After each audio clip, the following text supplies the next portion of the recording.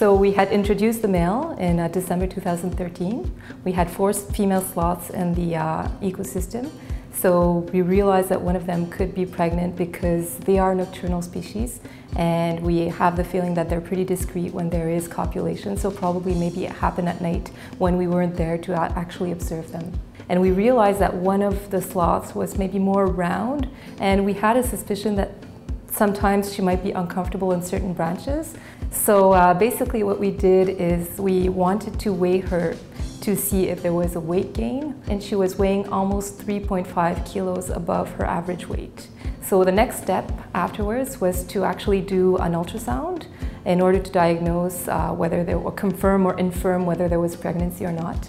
And when we actually did the ultrasound, we realized that there was a fetus inside and we saw the column, the vertebral column, the, the, the rib cage, and we also saw the small heart pulsing. So we realized that we did have a pregnancy.